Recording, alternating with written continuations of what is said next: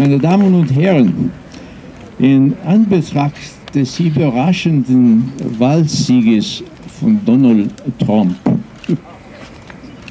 äh, gewinnt äh, diese heutige Abstimmung im Bundestag eine außerordentliche Bedeutung. Es gibt bei uns in den Vereinigten Staaten sehr leidenschaftliche Triebs Kriegstreiber.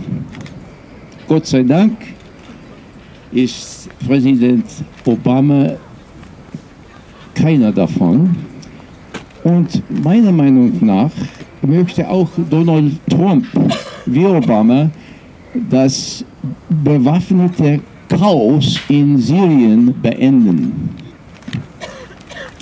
Ich glaube, es ist durchaus möglich, dass beide, das heißt Obama und Trump, es lieber hätten, wenn die Bundesregierung Schritte zur Ermutigung des, der Hawks, der, der, äh, der Falken in Washington vermeiden könnte oder würde. Eine Ausweitung des Syrienkrieges zu einem NATO-Krieg wäre ein solcher Schritt, den wir vermeiden müssen. Meiner Meinung nach ist eine friedliche Lösung äh, der Katastrophe in Syrien ohne die Kooperation mit den Russen gar nicht möglich. Diese Kooperation wird mit einem Präsidenten Trump wahrscheinlicher als mit Frau Clinton, die den russischen Präsidenten äh, Wladimir Putin Hitler genannt hat. Das macht keinen Sinn.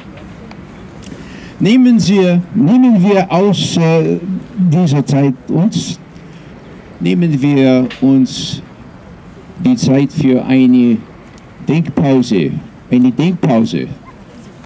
Das bedeutet ein bisschen zu denken, ja? Ich selbst habe für Dr. Jill Stein gestimmt. Sie war die Präsidentschaftskandidatin der US-Grünen Partei, einer kleinen Wahlpartei, die sich für Frieden und besonders für die Umwelt einsetzt. Vorgestern äh, war ich mit einer Gruppe zusammen, die in unserem Sprach Sprachgebrauch zum The One Percent, dem 1% der Elite gehört. In dieser Gruppe befand sich ein ehemaliger US-Botschafter bei der NATO. Er wurde gefragt, ob es nicht vielleicht besser wäre, wenn mit den Russen zu sprechen, beziehungsweise zu verhandeln. Der Botschafter antwortete auf diese Frage in einer sein erniedrigenden Weise. Er sagte, also, Sie sind offensichtlich ein Trump-Unterstützer. Aber Hillary Clinton wird sicherlich gewinnen. Das war vorgestern. Ja? Er meinte in diesem Fall, in diesem Fall wäre es Unsinn und unrealistisch, unrealistisch, baldige Verhandlungen mit den Russen zu erwarten. Nun gebe ich zu, äh, Donald Trump ist, is no John Kennedy. Ja? Der Trump ist kein Kennedy. Aber lange Rede, kurzer Sinn, zumindest wird nach meiner Einschätzung nächstes Jahr mit Trump, mit Trump vielleicht eine vernünftigere Ostpolitik möglich. Das ist ja wichtig. Es könnte zu Entspannung statt immer mehr und mehr und mehr Spannung. Meines Erachtens muss man die Russen als Partner und nicht als Feinde betrachten. Um Winston Churchill zu zitieren, It is better to jaw jaw than to war war. Das heißt, es ist besser miteinander zu sprechen, als Krieg zu treiben. Das ist ja klar. Und am allerwichtigsten, wir sollen die Möglichkeit einer echten Entspannung erst nehmen. Ernst, ernst nehmen. Wenn Sie ernst nehmen.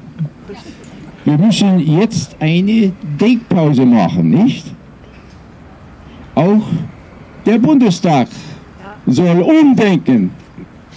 Umdenken, ja, umdenken. Lass uns Neues denken, weg von Feindbildern und militärischen Lösungen.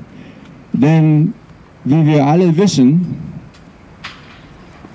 die Gedanken sind frei. Können wir zusammen singen? Ja? Machen wir gleich. Ja, ja. Haben wir gleich? Ja, ja. Ja, machen wir wieder mal? Nee, nein, nein, Ja, nee, nein. Okay, vielen Dank.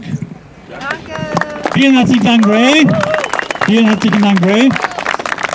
Ja, jetzt haben wir auch mal Winston Churchill auf einer Friedensdemo gehört. Ne? Habe ich auch noch nicht erlebt als Zitat. Jetzt ist mir auch das V von